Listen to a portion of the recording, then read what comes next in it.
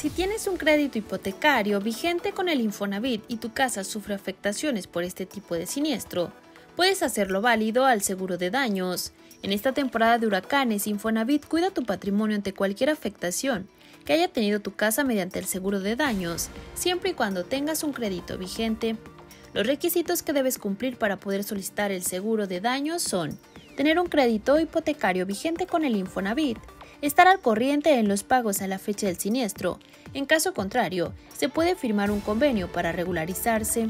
Que no hayan pasado más de dos años de que ocurrió el siniestro al momento de solicitar el beneficio. Este seguro lo puedes ocupar si tu propiedad necesita reparaciones menores o bien para liquidar la totalidad de una hipoteca en caso de que resulte catalogada como pérdida total, informó para Red 113 Luz Más Cervantes.